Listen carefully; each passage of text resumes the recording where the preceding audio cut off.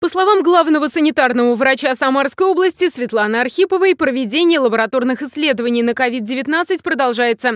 В среднем в сутки проводится около 6 тысяч исследований. По сравнению с началом августа, сейчас охват тестированием увеличился на 45%. Во всех 14 лабораториях, проводящих диагностику, имеется запас тест-систем.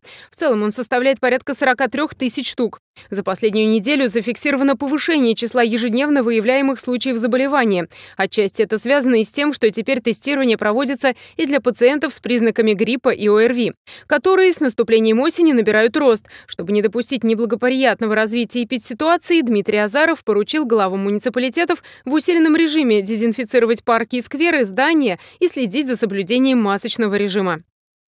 Всем главам муниципальных образований э, принятие всех необходимых мер.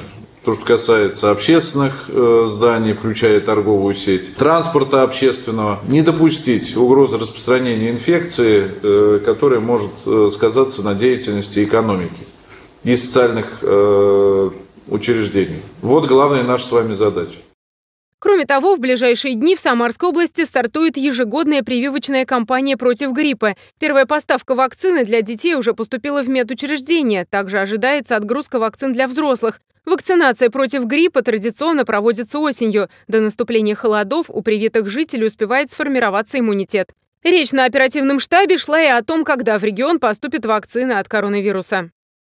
У нас э, по вакцинации ковида пока э, четких там, параметров, э, сроков нет.